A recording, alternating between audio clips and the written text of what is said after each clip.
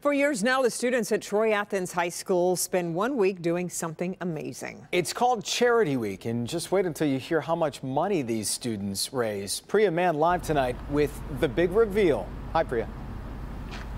Hey, you know, this has been a tradition here since the mid 80s, and it's completely run by the students. They pick the charity, they pick which fundraising events they're going to hold, and boy, did it pay off.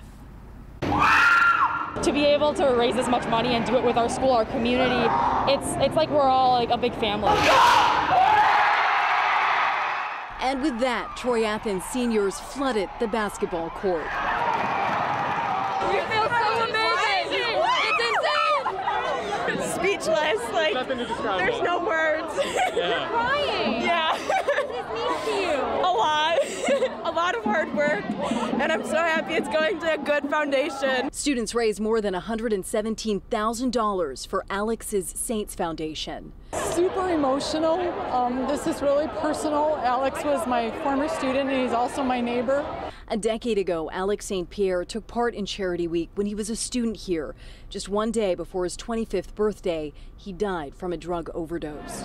he was everything. You know, I spent ev all my time with him. Uh, we, you know, it's the saying, "Your brother from another mother." That was him. After last year's Charity Week was canceled due to COVID, this year students made up for it. There were concerts, We all are going to say abracadabra. magic shows, the chance to smush a custard pie into a teacher's face, and even a belly flop competition. All of this raising money to prevent another young person from dying of a drug overdose. We're gonna save lives.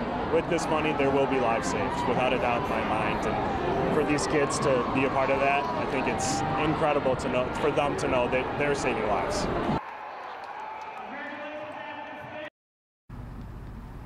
Yeah, just absolutely incredible work. You know, there have been so many challenges during the pandemic. The event was canceled last year, and this year organizers decided to just have seniors inside the gym. So students watched a live stream in their classrooms, and it had different camera angles and hosts. And they said after all of this hard work, they were just glad they could celebrate together in school. And from everyone at Local 4, Way to go, guys. Right? Reporting live in Troy, I'm Priya Mann, Local 4. Just fantastic Oh, work. what a great story, number one, and just a great cause, number two, and just a wonderful experience for these kids to even uh, ex- have themselves in high school. Thanks, Yeah. Priya.